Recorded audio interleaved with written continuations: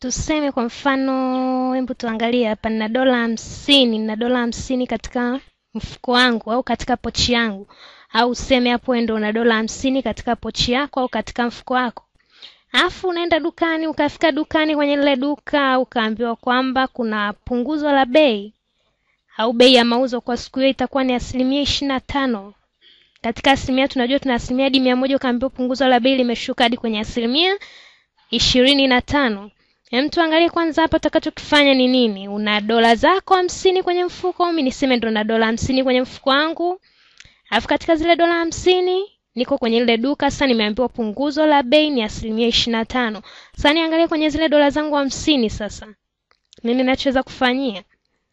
Tuseme sasa, tuseme bei kubwa au bei ya juu, tuseme tunaita ndo X, ndo nini, bei ya mauzo iliyo kubwa, tuseme kwamba ni X, tuseme ndo bei.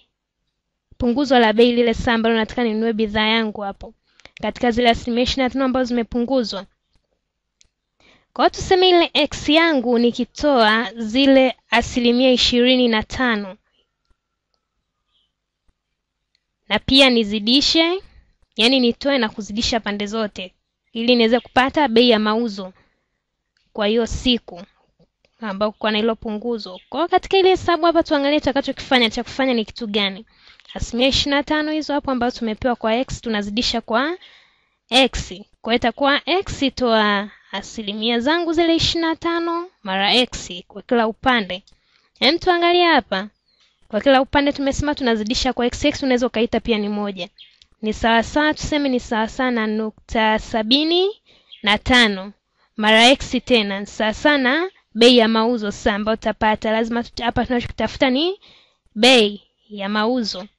Hem, tuangalie vizuri hapa, naomba muwe makini sana ili msijichanganye kama tunavyoona katika hesabu letu hapa. Katika hiyo tuliopewa hapo, tutafute bei yetu ya mauzo niipi sasa, au punguzo lile katika hiyo dola zangu hamsini nilizo nazo. Tuendelee hapa, tuangalie sabini na tano x ni sawasawa na dola hamsini nilizonazo. sabini na tano x ni sawa na dola hamsini nilizonazo katika pochi yangu au ulizonazo wewe katika pochi yako. Hem, tuweze kuangalia punguzo la bei hapa litakuwa shilingi ngapi na naweza nikanunua vitu vingapi kwa hiyo dola yangu hamsini.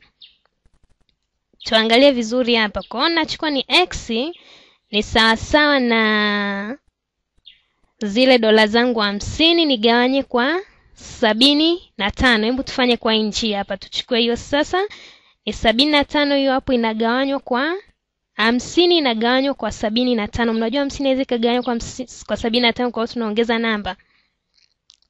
Kwa hiyo tuangalia hapa sasa, ile mia tano ukigawanya kwa sabini na tano tutapata ni ngapi? Hebu tuweke pale tuangalie, tutapata jibu lake ni ngapi? Mia tano gawanya kwa hiyo hapo utapata ni ngapi? Jibu hapo tunaangalia kwamba ukigawanya hapo, napenda hesabu eh, tunapogawanya hapo sasa, jibu lake tutalipata ni ngapi, ili tuweze tukajua kwamba nitatakiwa niwe na shilingi ngapi katika hizo asilimia zangu ishirini na tano zilizoko hapo. Jibu hapo tunapata ni sita. Tuchukue ile sita mara sabini na tano. Sita mara tano ni thelathini. Tunaenda na tatu yetu kichwani. Sita mara hiyo saba tunapata ngapi? Jumlisha na jibu letu lile tuliloliacha pale ni mia nne hamsini. Mia nne hamsini pia tunaigawanya kwa, tunatoa. Tukishatoa tena tunaangalia tunagawanya kwa sabini na tano. Jibu litakuja tena ni sita. Sita ukizidisha kwa hapo itakuja tena ni mia nne hamsini kama tulivyopata mwanzoni. Ukitoa utapata tena mia tano. Namba zinajirudia zile zile. Hebu tuangalie hapa. Mhm.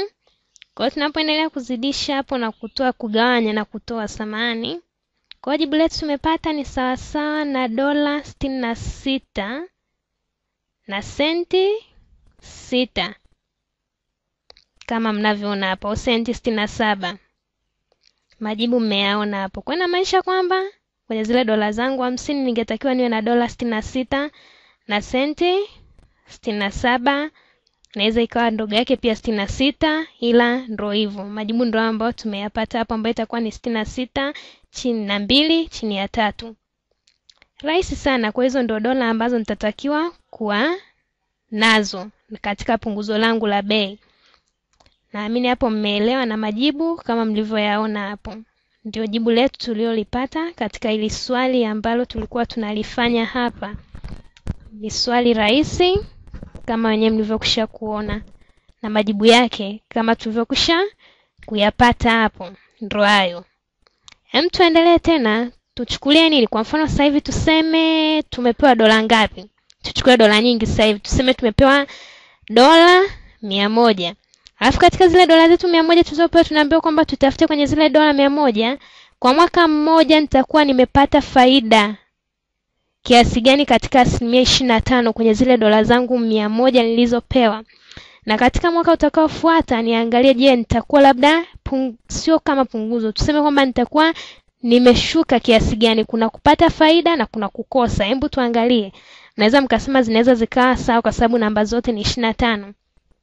Tupige hesabu letu hapa vizuri ili tuweze kuelewa ni tusifanye bla bla ili vitu viweze kueleweka vizuri. Kwa hiyo nataka kutafuta faida nitakayoipata katika asilimia zangu ishirini na tano kwa ule mwaka mmoja.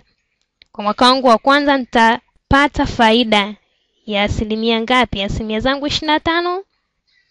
Nitapata faida kiasi gani mwaka unaofuata? Mwaka, mwaka wa kwanza na mwaka huo unaofuata?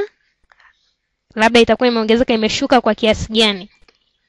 Ndio tunaangalia hapo kwao kinachofanyika hapo tunachokipata hapa kama tunavyoona ni mia moja ishirini na tano. Ko katika mwaka ule mmoja nitapata faida ya dola mia na ishirini na tano kama mlivyoona hapo.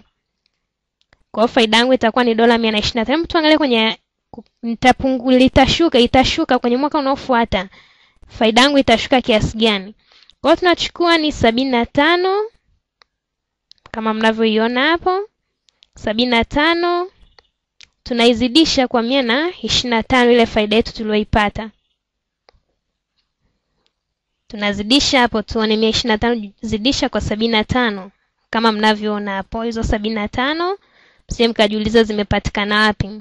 Naona hapa ubaoni vizuri. Hebu tuzidishe tuone kwamba tutakuwa tumepata kitu gani hapa katika ile hesabu letu kama mnavyoliona hapo. Tano mara tano ni ishirini na tano tunachukua mbili mara hiyo kumi. Inakuwa ni kumi na mbili na ile mbili yetu. Kwa tano hiyo itakuwa ni saba na ile mbili. Tunaendelea tena hivyo tunaenda na tatu. Kwa itakuwa ni ngapi? Itakuwa ni saba. Moja mara tano inakuwa ni ngapi? Kwa hapo ujumlisha majibu yetu ambayo tunayapata. Ndo kama tunavyoyaona hapo. Na hapo inakuwa ni tisa kwa umeona jamani kwa hapa tumepata punguzo kwao katika zile dola mia moja zimebaki dola tisini na nne na senti sabini na tano. Kwao kwa mwaka wangu wa pili sikupata faida yoyote. Imepungua kutoka katika dola mia moja nikabakiwa na dola tisini na nne na senti sabini na tano. Si mnafahamu senti nyie?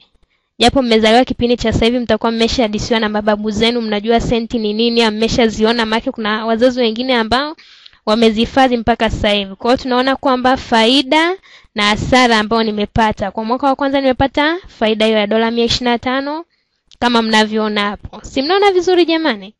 Msije mkasema yanatokea wapi? Kama ambavyo mmekusha kuyaona. Na mwaka uliofuata ndio hivyo nikawa nimepata hasara. Hizi hesabu ni nzuri sana.